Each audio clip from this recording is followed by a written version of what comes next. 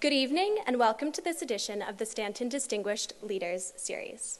My name is Brianna. I'm a senior at Georgetown, and upon graduation, I'll be joining Citi in capital markets origination.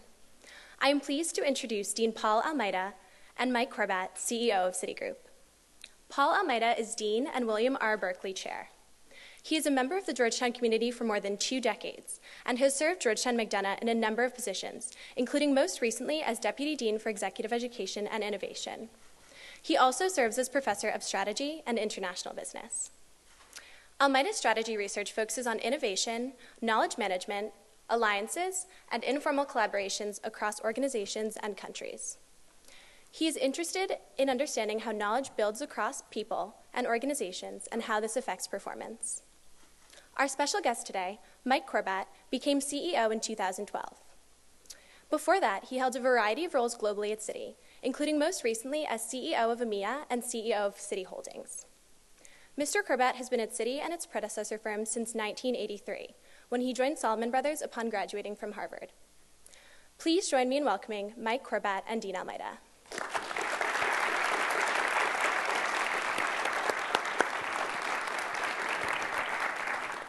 Thank, thank you, Brianna, uh, for the wonderful introduction. And uh, as you probably know, Brianna is going to be joining Citi's Capital Market, Markets Organization. So she's going to be both a part of Georgetown and Citi. And uh, Mike, welcome to the Stanton Distinguished Lecture Series. Thank you very much. Great uh, to be here. We're really excited to have you here. Uh, I've chatted with you a little yesterday and a little today, and I'm even more excited than before. So, uh, Mike, you, you travel a lot, and uh, you've recently been to the World Economic Forum in Davos. Yep. So, uh, for, for your bank, or more generally for the world, what, what are the main takeaways? Uh, people talk a lot, I hear, over there. So, what did you take away? They do. Well, first, first, before we go there, I want to say hello and I want to say thank you for taking time and joining us. I was saying to Paul earlier that um, while I can't exactly describe the formula or the secret sauce, uh, there's a great relationship between Citi and Georgetown, yeah. and, and, not just the School of Business, but broadly Georgetown. I think this year we have 58 yeah. uh, Georgetown matriculating who will be joining Citi, and that's a pretty consistent number for us. So uh, it's a thrill to be here. It's an honor to be here. And whatever you're doing here, keep doing it because as these people come to Citi, they do great jobs. Great. So going to your question, I, this was um, probably about my 10th Davos. And one of the things that uh, I've always done when I've gone, probably after the first one, is I always try and judge the state of the world and how things are going, and I try and make a prediction because very typically, I, I almost can't name the year where I've gone in with uh, an expectation or the world's been viewed a certain way, and it hi- either hasn't accelerated or deteriorated uh, from perception coming out of Davos. Mm-hmm. And it probably comes as no surprise. I went in this year believing that uh, we were going in with people feeling pretty good and that it would likely, very likely, go to the positive, but I underestimated by how much it would go to the positive. Mm-hmm. I put a big footnote on that of saying that, and other people have said it, that Davos is probably one of the best contraindicators out there. because this very smart group of business people have a very hard time predicting actually yeah, yeah. Uh, the future. And so, you know, when you think of the backdrop of what's going on right now or how we finished the year, the 2017 was really the, the first year that we've seen of global synchronized growth in a long, long time. And so it wasn't just some of the momentum that we had in the US, but really interesting. Usually Europe comes in and Europe is a bit more pessimistic. But Europe came in very pleasantly surprised that Europe was actually growing faster than the US. Mm-hmm. I had a chance to have our board in Japan in late October, and I've been going to Japan since the late 80s. And uh, I haven't been in Japan at a point in time where they've been more optimistic. And so you think of all the years post crisis of the disappointments around growth, and it finally came together. And you've obviously, we've all been watching a bit what's going on in terms of the US markets and some of the euphoria and some of the optimism that's there. And so everybody came in optimistic, and I would say people left even more optimistic as you'd meet your European or Asian counterpart and you would reinforce how good things are back home. Wow. So the economics looks look really good. What about the geopolitical situation? Were there any worries about that? Anything to keep you up at night? I, I know you don't sleep, but uh, if you did sleep, Um, yeah, so you know, when you, you think about, and uh, there was a number of panels that touched on this. I was on a panel paraphrasing that was, what, where does the next financial crisis come from? And I was on with David Rubenstein, and I was on with Jes Staley, who runs Barclays, um, the person who runs a large asset management firm in, um, in Europe. And I think we, would, we all felt that it's likely that the next financial crisis probably um, is driven or more likely to be driven by geopolitical challenges than challenges, at least near to intermediate term, coming out of the uh, financial system. And if you think about today, you know, one of the, the things as we look at the markets today, I think that's very interesting, and I talked a bit about this at Davos, is uh, one of the things I talked about that we've got to be mindful of is uh, we've just come out of a year where we had 12 un- uninterrupted months of month over month gains. First time, I believe, in the history of the stock market that we, we've had that. And uh, you'd say that that happened against a backdrop of some pretty interesting things in North Korea, some challenges in the Middle East, some questions in the U.S. Uh, obviously, you know, we've gone through Brexit. And uh, one of the questions I always ask uh, a number of our clients, I said, well, why is this happening? Because if you look at all these things that have gone on, and it really started back with Brexit, and it happened with President Trump, is that we kind of went right through these events. If you remember those events, I remember being up in the middle of the night during Brexit, and the market was off, and I think I went to bed for about an hour and a half before heading to the office, came in the office, it turned right around took off. Yeah. I remember sitting there on election night with President Trump, and the market was down 800 points, and it turned around and it went. And you look today, and you look at North Korea and some of the things I mentioned, and you say, well, why isn't the market reacting? Hmm. And the asset managers and you know, some of the people we would describe as smart money say, well, we sold Brexit, we bought it back higher. We sold Trump. We bought it back higher. And so we're not going to sell. We're not going to sell until we really think we're kind of forced to sell. And we can talk more about it, but what I think is very positive about the last 36 hours is it's a great reminder that yeah. things do go down. And financial markets yeah. tend to have short memories. And I think it's a, it's a great correction. And you know, you ask yourself, you know, what changed since you know, last week where everything was fine. Not a lot, but eventually we knew there would be something that changed it. And so yeah. it's an interesting time. A little sobering. I, and I think appropriately yeah, so. Yeah, Just to remind us, again, if you go back and you looked at, at the Dow year over year, it's still up 20%. Yeah. So. So a little different question on Davos. So there, there were lots of different speakers, right? did anyone stick out? Did you remember anyone or a particular line or a theme that you said, okay, this is something new or different or interesting? Well, I think if you, if you think of Paul, the three headline speakers that I would, I mean, again, it's a, it's a bit of a who's who, and the yeah, people you get yeah, to listen yeah. to is pretty extraordinary. But there were three, I think, that had the ability and were probably showcased a bit more than other, in no particular order. Mr. Modi was there. And I think the story of what's going on in India and the sustained growth and a lot of the reforms and changes that he's putting through is a fascinating story to listen to and to hear him tell it and the passion with which he tells it. Very powerful. I think the second piece was around, or the second one was around President Macron. And if you look at what's happening in, in, in terms of uh, the, the French elections, and in some ways what I would call the emergence of a new leader, in some ways, maybe taking Ms. Merkel's mantle as she's had some more challenges Yeah, around yeah. a coalition government.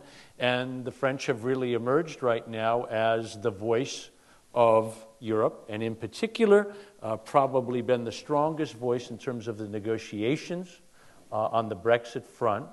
And I think President Macron has done a spectacular job of unifying the country to the point I had breakfast with the finance minister was there, and our entire breakfast was around uh, the fact that France is going to be instituting tax reform and likely lowering corporate tax rates in France to 25%. Four years ago, if you would have asked me that, I, I would have Yeah. bet against that all day long. And, and obviously, the third was having President Trump there. yeah.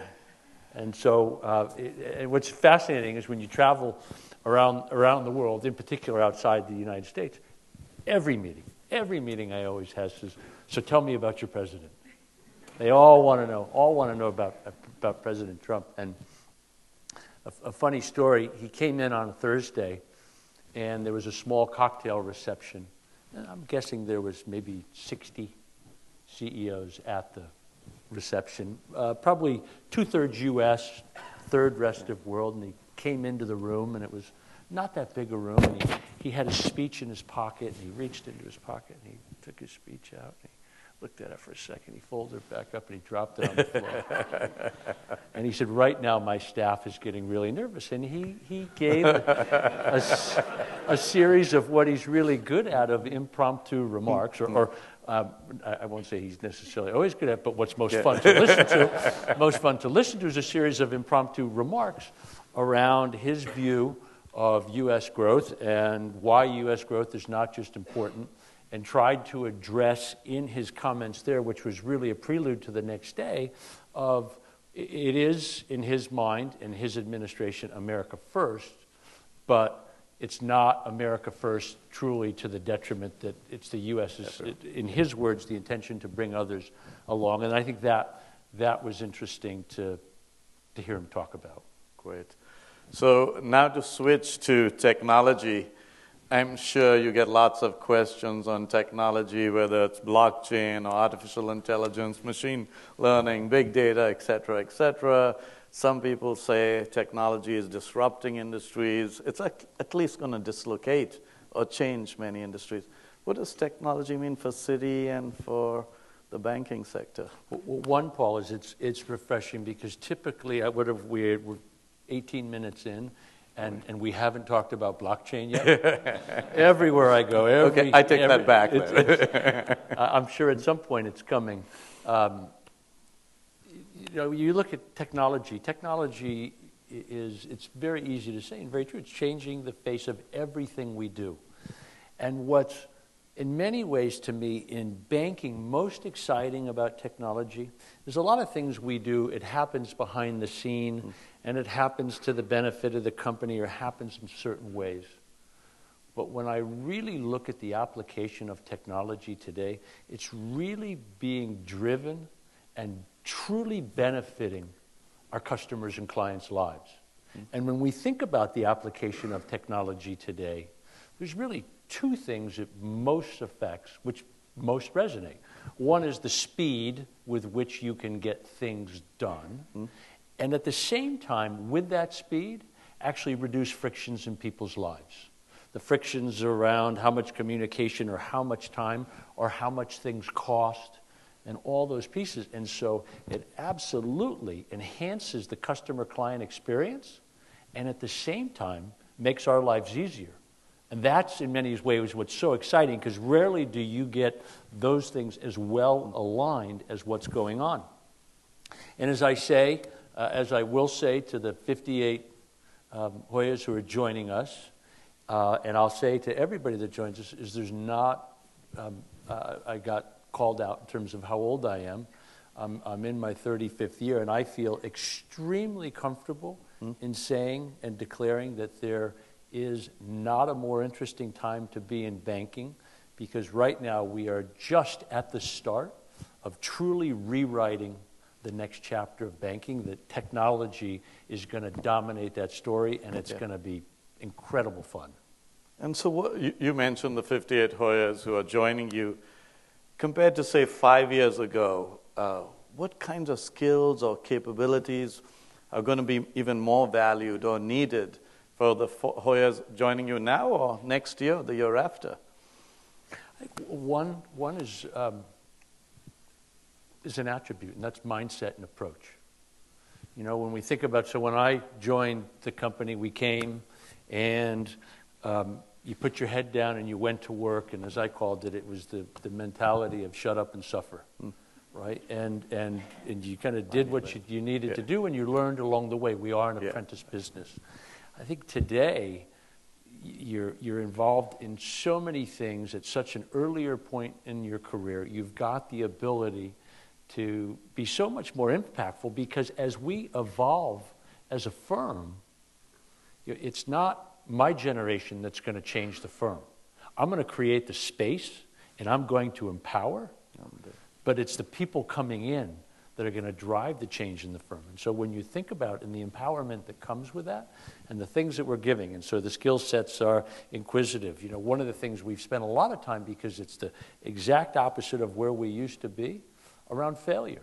You know, when I came in, you never wanted to fail. You know, failure was it was over. Bad.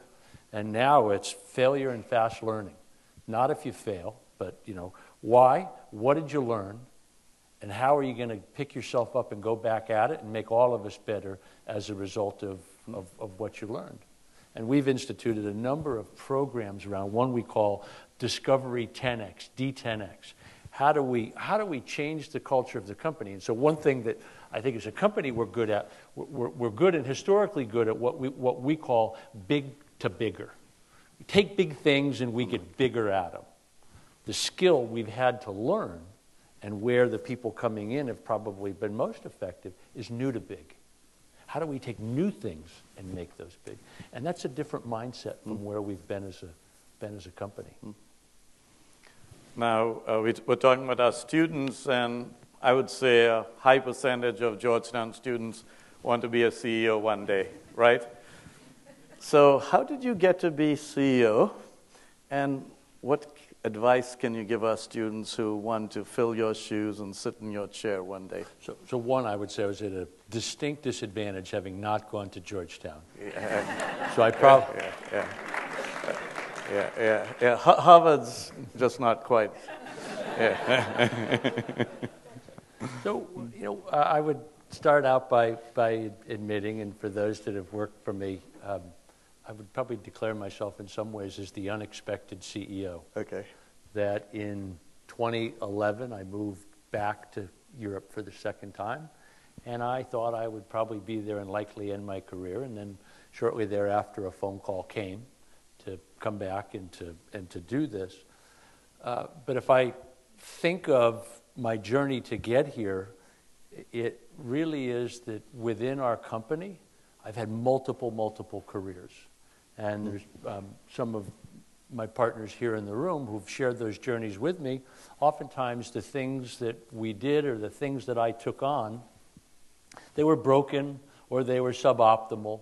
And I enjoyed taking a shot at trying to fix them and make them better and get them going and then moving on to the next thing. And so when I think of my 35 years at our company, I've probably had a dozen careers in there.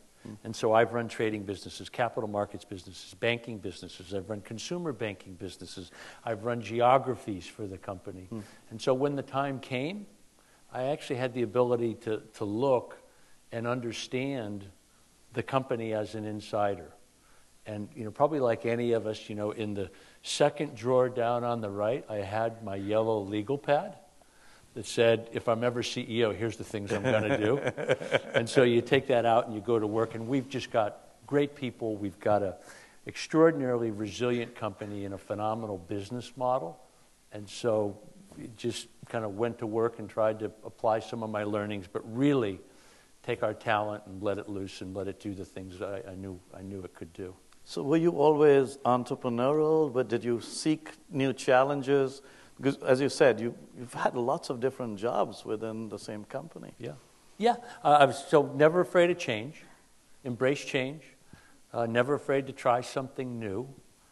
Uh, uh, you know, I was fortunate again to have great people around me and be supported, and the company was extremely supportive. But just to have that ability to see and do so many things, and to, the ability to have so many careers within a firm. And one thing I talk to our people who are joining us about is don't sell the company short. And by that, what I mean is that, you know, today we know with um, your generation, if we're not engaging you, you're likely engaging with somebody else. So one of the, the promises that we make is we promise to meet you more than halfway. You have to own your careers, as you should. You should be investing in your careers as part of that. But we're going to invest right alongside you. And within the firm, you can go do all kinds of things. You want to go have an international assignment, we opened up this morning in 100 countries around the world. We've got all the businesses and many more I just talked about. And when you think of the relevance of the things we're doing, and from a technology perspective, we've got over 10,000 technologists coming to work every day in the firm. We've got an operating budget of about $17 billion that we're spending on the combination of technology and how we use that in the operations of the firm. And so there's so many things you can do. So before you get up and you move across the street or you move somewhere else and you lose that capital that you've built of your reputation and your work ethic and all the things you do to go start over somewhere else, why not do it at the same place? Pick mm-hmm. it up, move it over. Your reputation precedes you in a positive way if, if, if we're moving you to do those things and take advantage of that. So you mentioned you're in over 100 uh, countries. We've talked about tech, technology and technological change. Is managing a multinational becoming more complex and are there tools to, that help us manage it uh, up to the task? Is there just too much complexity, you think? Well, we've taken a lot of complexity out. When we uh, came out of the crisis, you know, what we've, we've talked about is we've, we've absolutely made ourselves simpler. And so, if you go back and study the banking industry, sometime between 2000 and 2007, most of the big institutions in the world were on a, a path towards wanting to be a or the financial supermarket, everything to everyone. I think what we all learned coming out of the crisis is that's not a viable business model. Mm-hmm. And so, what we really did is looked at where we felt we could distinguish ourselves and differentiate ourselves and provide that value. And for us, that was really around two axes. One is we're a bank. We'd become not only a bank, but an insurance company, an asset manager, a hedge fund, private equity, you name it, we were in it. Back to our roots of being a bank. And second is our globality. And um, in spite of a lot of the rhetoric, rhetoric going on, we don't see the world becoming any less global. Trade corridors and trade routes and trade agendas may change, but globalization and what it's done is not going backwards, and that we could distinguish ourselves in our business model by being the world's most global bank. And that's what we took the institution to. We shed a lot of businesses, uh, we simplified our business model, became hyper focused on our customer and client bases and our product uh, both physical and intellectual product offerings, uh, and, and it's really gained traction. And so that's made it much simpler, simpler to, it. simpler to, to be able to, much less complex to be able to manage. Great. I was, was going to say I have exactly the same strategy as you. uh, so one, there are lots of differences between higher ed and banking and financial services, but I think we both face a fairly dynamic world out there, changing markets, changing competition, inputs, outputs, everything. And so I believe we have to innovate uh, at the business school, at the university. Like you, we're an old institution, over 200 years old. So, how do you get an old institution, an old organization to embrace the future and embrace change and continuously innovate? We, we've, got, we've got a bunch of that in our DNA. And I, I, I always tell the story, or like to tell the story, that we were one of the earliest disruptors. So, like you, we are now 206 years old. And the company, Citibank, was founded in 1812 by a group of New York City businessmen who feared that New York City was losing out to the port cities of Baltimore and Boston, and that they needed an independent bank to finance trade. And so we were formed in 1812 as a trade bank, again, going back to what I, I just described. And interestingly, one of the first things that we financed was a very disruptive company of its time. It's called the Black Ball Shipping Line. And the Black Ball Shipping Line came up with this very uh, different idea at the time. So at the time, a ship would sit on the dock. When it was full, it would eventually go and you didn't necessarily know when it was going to arrive because you didn't know when it was going to leave and you didn't know when it would be full and depart. And so if you were f- shipping any type of perishables, it was very difficult to gauge. The Black Ball shipping line came up with this very novel idea of saying that every Thursday, regardless of the ship being full or not, the ship is going to sail, and based on the winds and the currents, you could predict wherever it was going roughly when it would get there and it totally revolutionized shipping yeah. at the time. And so that was one of the first things we did. And then if you go through the history of the company and the things that we uh, continue to do today, so you know one of the things we've most recently done is we're the uh, first bank in the world to actually introduce uh, a mobile device that gives you the ability to borrow, save, protect, spend, and invest right on your phone, all off of one function. Now, we're there first. We probably won't have that lead for a long time. But again, it's around the mindset of, of being able to, to, do those, to do those types of things. And so the DNA is there, which is great, but then it's empowering. And it goes back to a little bit about what I mentioned of kind of changing the mentality of failure and the right ways being acceptable, uh, the way we experiment, the way we test. Uh, and the way we do things, and the way we try and put the client at the front of everything we do, forces you to be innovative because the clients today are very demanding. If you're not giving them the speed, if you're not taking the frictions out that we talked about, they're gone. So, as, you know, as the saying goes, necessity is the mother of invention, yeah, but, but yeah. we like to be in front of it. Great. Uh, as you know, we're a Jesuit school and uh, with Ignatian principles. And uh, one of our core values is we're here to serve the common good, to make a difference to the world. Now, some critics, uh, sometimes they're politicians, sometimes they're in the media, sort of portray banks as being far removed from that ideal of here to serve the common good. How do, how do you see it?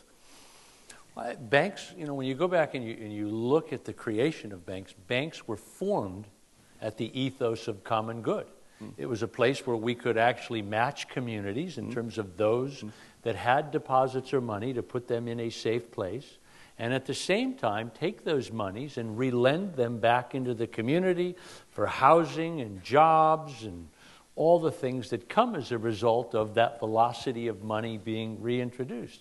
And banks are core and central to the communities that they, they live in and that they work in. Mm-hmm. And again, I think going back, and, and I think banks did lose their way in that era that I described of this arms race around becoming the yeah. financial supermarket. Yeah. Yeah. And it became more about product and more about growth and less about necessarily the client centricity. And I think post crisis, certainly we have, but I think the industry has found its way back importantly to what that means. And I look at today of what we do, and um, we're not we're not great at telling our own story. And again, uh, my own approach is do the right things and the other things follow. But as an example, um, uncelebrated, but we're the, the largest, you know, we're not the largest bank in the United States, but we're the largest lender to low and middle income housing finance in the United States. Uh, we've been first for the last 10 years in terms of our pledge towards the environment. And we've got a $100 billion 10 year commitment of investment into the environment. The things we're doing in inner city schools around, you can Google or search something called Pathways to Progress, where one of the big challenges in inner cities is jobs training and job skills for youth that, that likely is not finishing necessarily not a college, but in some cases not a high school. And our pledge around those, are the things that our foundation are doing, or more importantly, you know, one of the things I'm extremely proud of is the way our employees. You know, every June we have Global Community Day, and last year we had well over 100,000 of our employees go back into Wow. their communities and, and spend not just their day, but in some cases multiple days giving back. And as I travel, the United Way and cause after cause that our people take on. So we take that responsibility very seriously. And, and, and in there, the reinforcement is, is as we do that, uh, we get the feedback and we know it means a lot to our employees. So you're really a Jesuit institution. Absolutely. Just wanted to make well, sure. but with, with one proviso, we're actually for profit. Uh, in a minute, we're going to take questions from the audience, but before we do that, uh, do you have any final words? By the way, you are good at telling your story. You said, Rena.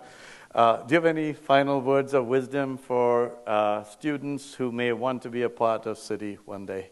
Sure. So, probably at this point, you're, you're figuring out your careers, and that in many cases, as you think about that, you probably have very specific things or very specific jobs that you ultimately want to get to. And so I'm always interested, in some ways, always, I won't say amazed, but taken when I meet somebody and they're 20, 21 years old, an undergraduate, and I say, What do you want to do? They say, I want to be technology banker and I want to live in Palo Alto and I want to cover FANG companies or whatever it is. And I would tell you that those aspirations are phenomenal, but I'm going to ask you to fight that urge for now. And whether you're undergrad or graduate, build your foundation. And your foundation is around all the skills that you need to get because your life and your career will very naturally narrow. And those of you that have the best foundation will have the most flexibility in your careers. And so when you think about a world, Paul, that we've described that's likely to continue to change very rapidly, I don't know about you, but I want as much flexibility, optionality in my career as I can have because we don't know where some of these things are going to go. And if you get too narrow too fast, you're going to find yourself, in some cases, uh, not where you want to be and not having the flexibility. And then in some of those cases, you're going to have to go backwards to go forwards. And that's never, Yeah. that's, that's never a, a pleasant thing. Sometimes it's necessary and it's fine. But if you can spend more time investing in that base for a period of time, your careers will naturally narrow and naturally take care of themselves. That's, that's wonderful advice. So, uh, wel- welcome uh, questions from the audience. I think we have two microphones. Uh, please feel free. Yes.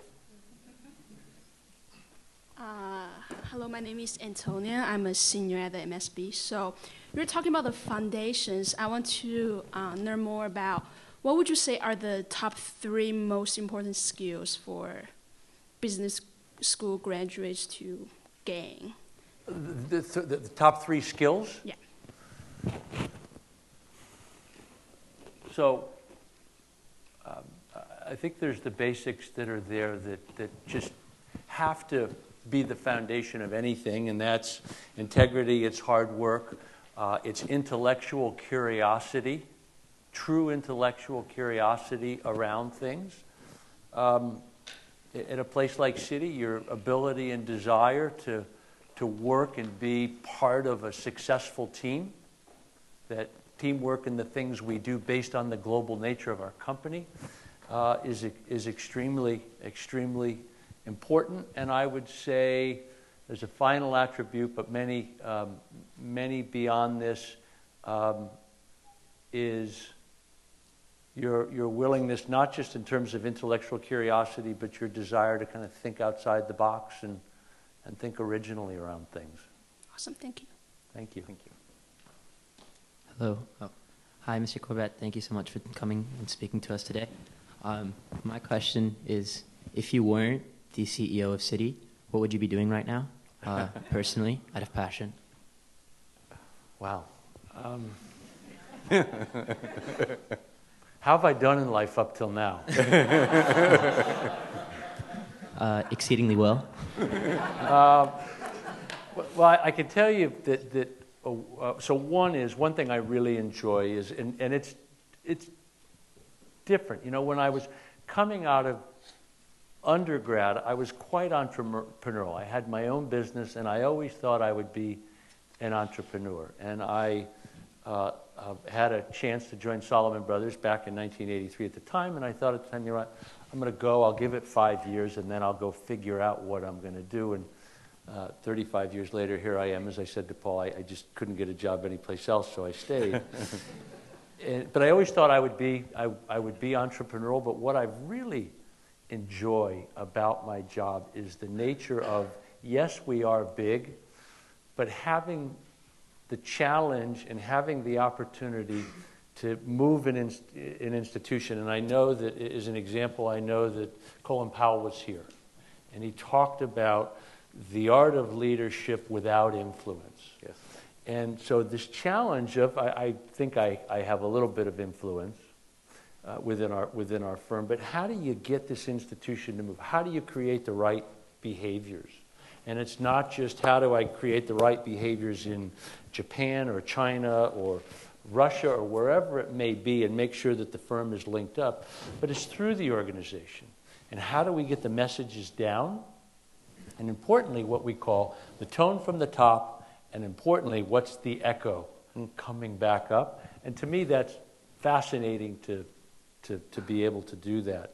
Uh, my guess is if I wasn't here, I probably would have done something in its day entre- entrepreneurial. Um, but uh, you know, I, I enjoy the challenges of, of something big, and so happy to, happy to keep doing this. Thank you very much. Have you ever considered being a professor next? I have. I, I know a few schools. hey, thank you. Uh, it's our pleasure to have you here. Um, yeah, I have a question kind of related to the president. The Economist a couple uh, weeks ago published an uh, article said uh, the tax reform in U.S. It is good for U.S., but bad for the whole world. Uh, what do you think about the U, uh, U.S. tax reform uh, for the global finance market, bad or good aspects? Thank you. Well, let's start with the U.S. It's a great, it's a great question, and it's, it's heavily debated, and, and time, time will tell. But, you know, as I look at the U.S. economy, and we go back and think about the crisis, and coming out of the crisis, we had a couple issues. Um, but a, a, primary thing to solve. And that is remember, coming out of the crisis, U.S. economy, $17 trillion economy, two thirds of the U.S. economy is driven by the consumer. And when we think of a U.S. consumer, two things to a consumer matter. One, my largest investment is typically my home. Is it going up? Is it staying the same or going down in value? Coming out of the crisis, housing going down. So my biggest investment is depreciating. Second component of that is do I have a job? If I have a job, am I going to keep it? And if I uh, don't have a job, what's my prospects of getting one? And you remember at the end of the crisis, unemployment approaching 10%. So we saw not just the Fed, but we saw the Bank of England, we saw the ECB, we've seen the Bank of Japan all act around forms of quantitative easing to stimulate their economies really trying to, in many cases, shore up those two things. The easier piece was housing. So as we cut rates, housing became more affordable. We got a floor into housing, and housing did well. And jobs were tougher uh, as we did that. Fast forward to today, housing is you know, at or above pre-crisis levels, and unemployment is back to levels at or below where we were going into the crisis. But the U.S. economy in 2017 grew at 2.2%. That's not sustainable based on the, the fiscal situation and the structure of entitlements in the U.S. And so the question to the politicians either side of the aisle and to this administration was we've got to figure out a way to get more growth in the U.S. So, how do we do that? Well, we've just said that two thirds of the U.S. economy is the consumer. we got jobs, we got housing, uh, we've got all those things in a pretty good place, and so we're likely not, as a direct impact, going to change that mindset. Consumer confidence is pretty good. And so, what's the other part of the puzzle? Well, the other third is around companies. And what do we see coming from companies? And as I travel the US and as I travel the world and have the ability to sit down with CEOs, and I always ask them the same question, pretty basic question. Tell me about your business. And almost regardless of industry and almost regardless of country, the paraphrased answer is it's okay. Top line's tough. We're getting a little bit of growth. I'm managing expenses tight. I'm being stingy on hiring and capex. I'm not investing in my company where I really should be, but I, I just feel based on where things are, this is about the best I can do. And so, what I would say we're beginning to see in the US, and we've seen it in the markets, is a transition where if you go back and you ask those business leaders, tell me about your business, in general, they, they became optimistic. And then the question was, what's the catalyst when you move that business from being optimistic to confident? And so when I'm optimistic, I'm planning, I'm thinking about things. When I'm confident, I act. I hire, I spend, I invest. And the whole belief behind the tax move is a couple fold. Is one is the average global tax rate in the world's about 25%. The US was at 35%. This now makes the US competitive. And that we will shift companies from being optimistic to confidence and we'll see the investment. And I think you've started to see that manifest itself uh, in certain ways.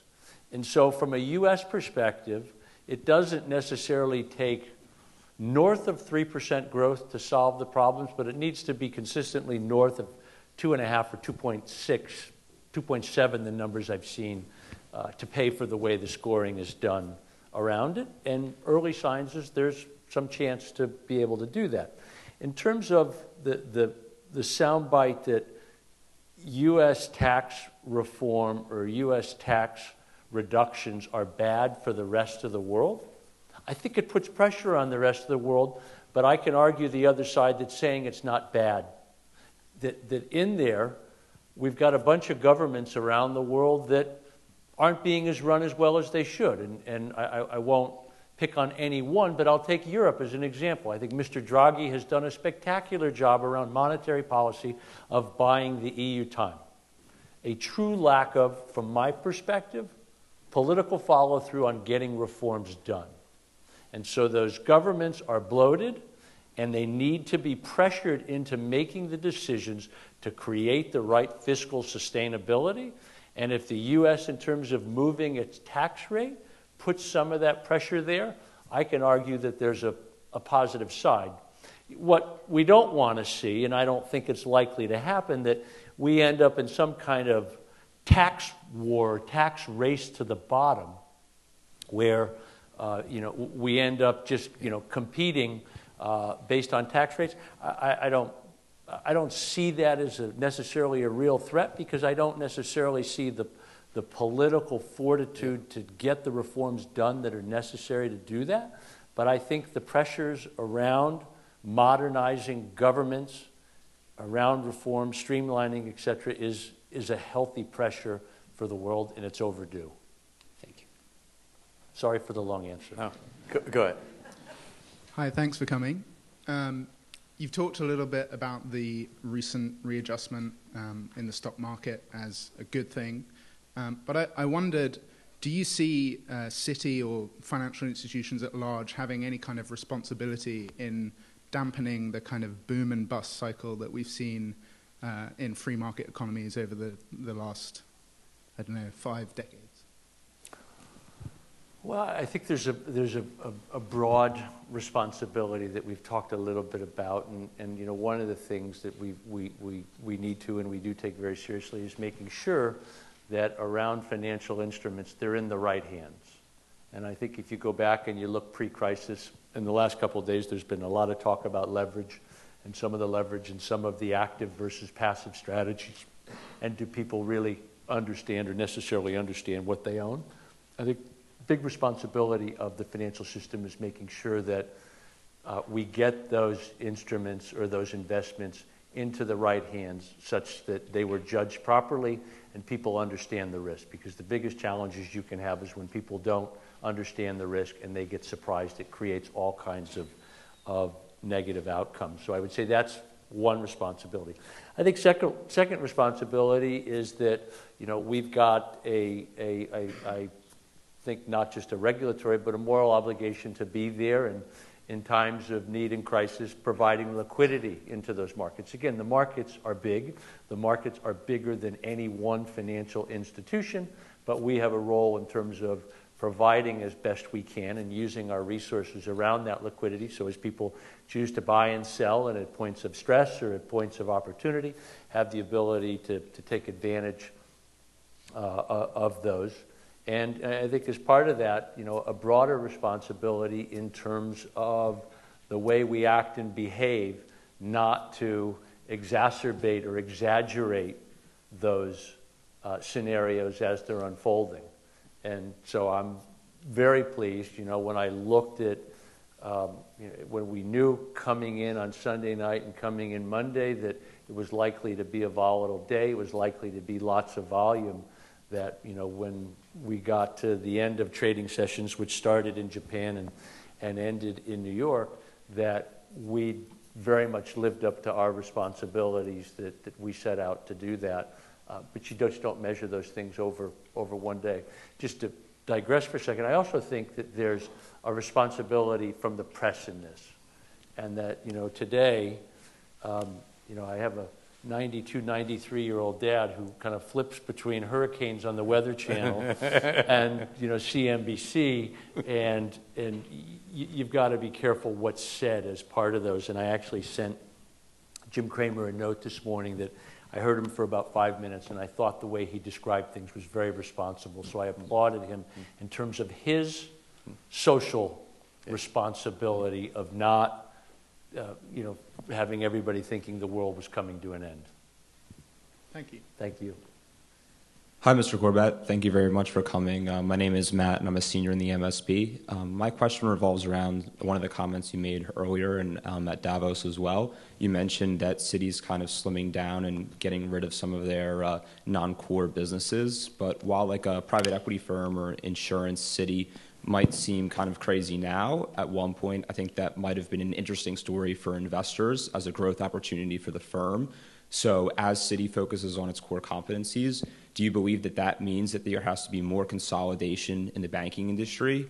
And then, do you believe that that presents a greater risk for systemically important financial institutions in the next financial crisis? Well, we, um, I'm going to take that question backwards. Uh, interesting question. So, one is do we think that the move in business models has made the syst- institutions and the system more systemically vulnerable? I would argue no.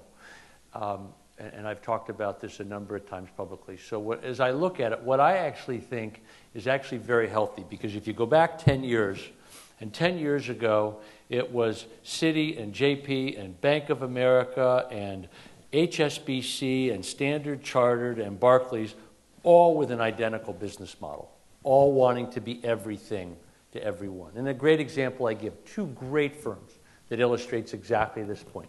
Ten years ago, go back and do your work and compare Morgan Stanley and Goldman Sachs, two fantastic institutions. They were indistinguishable from each other in terms of their business models. Today, look at them, very different. And, and what we've seen the industry do, and what we've done at Citi, as I described, is go back to our areas of strength and our areas of competitive advantage. And so, what we don't have is all these homogenous business models that when things go wrong, all the same things go wrong at all of them. So, one, I would argue that the system today is systemically in a, in a very different place. You are right, in the way we think about and talk about growth in our company is very different from how we talked about growth in the past. So, growth in the past is what are we going to go buy? What's the new thing we're going into?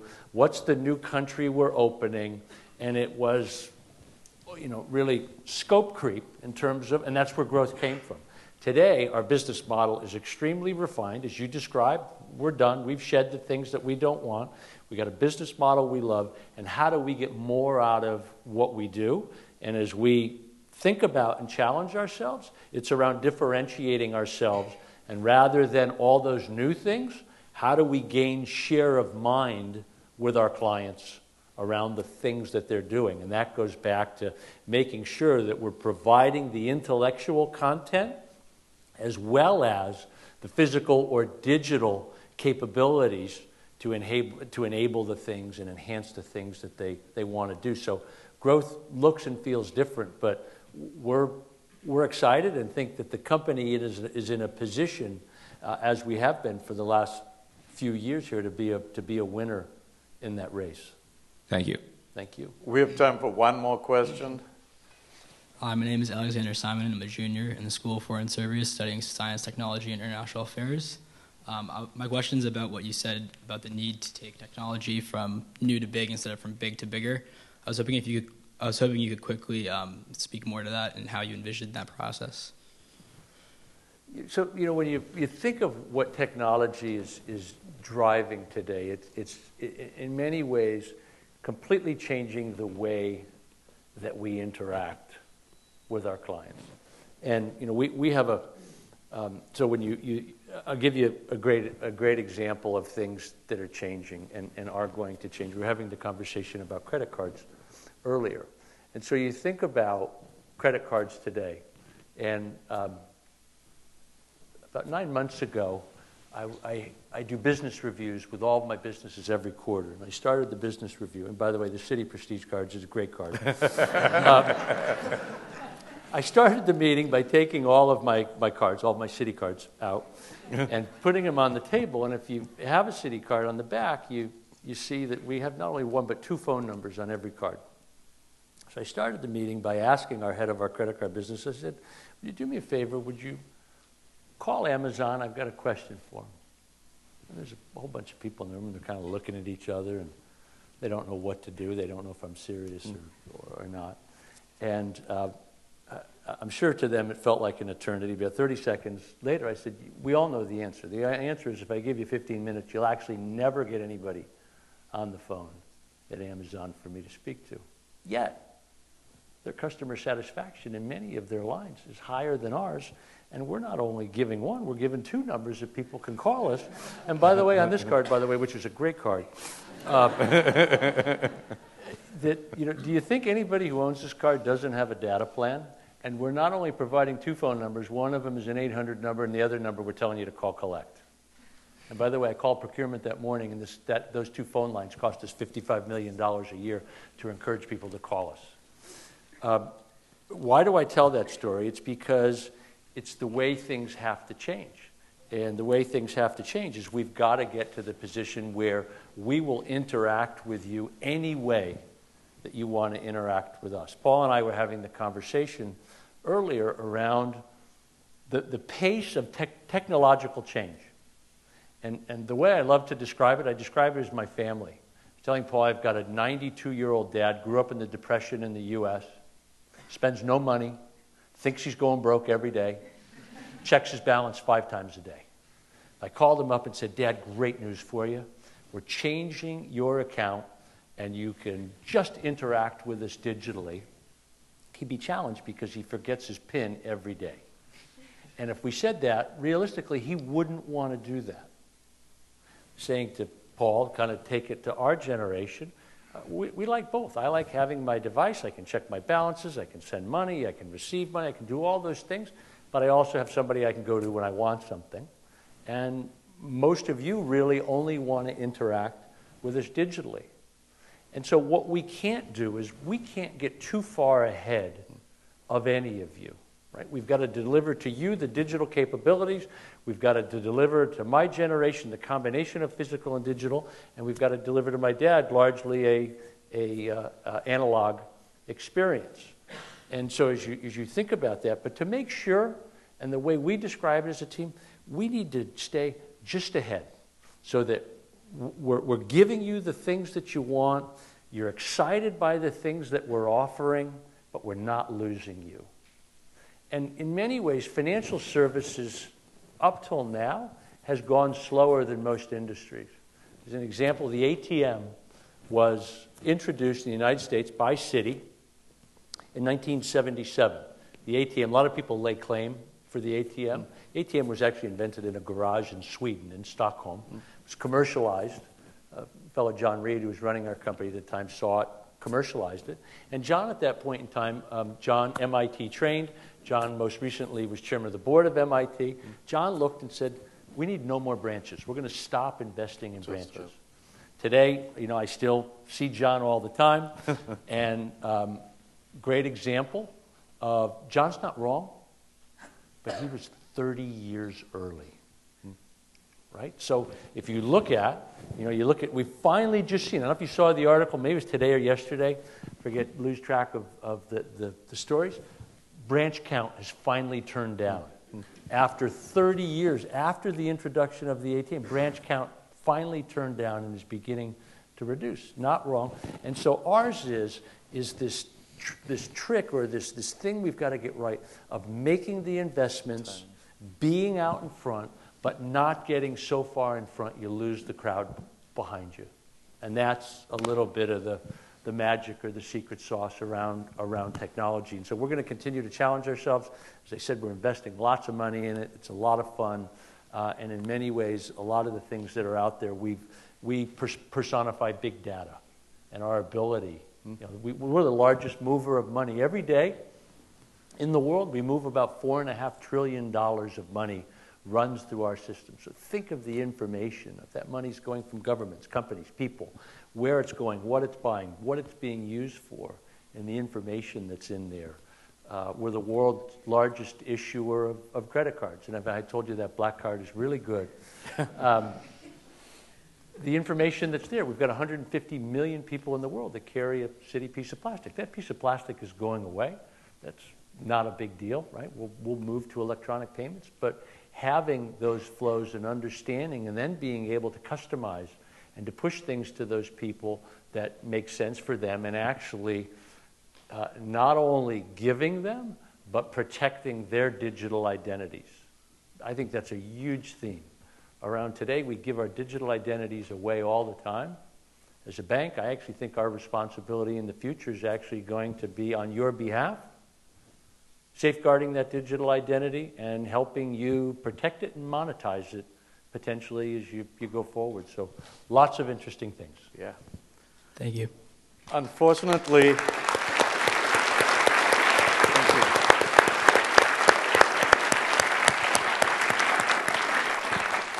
that hour went past very, very fast. But uh, th- thank you for all the wonderful insights, for intriguing us in so many ways. And if you can lend me that black card, uh, you know, I just need to write down some numbers, uh, you know. But uh, th- thank you so much for sharing your insights on business and leadership and exciting us about the future. Uh, thank you to the, everyone from Citigroup that's here. Who, who's from Citigroup? Uh, thank you all for being here. Wonderful. And, Paul, if I can, I want to thank Yeah. everyone for coming out and, and, and being here and having some interest. And again, if you have any interest in Citi, let us know. Again, we've got a great relationship with the, the university, and you can check with some of your alumni that I think they've had really good experiences at our company, and we welcome your inquiry. So thank you. Yeah. And we have a reception right now in Fisher Colloquium on the fourth floor. You're welcome to uh, meet uh, everyone from Citigroup and uh, each other as well. So thank you all very much. Thank you.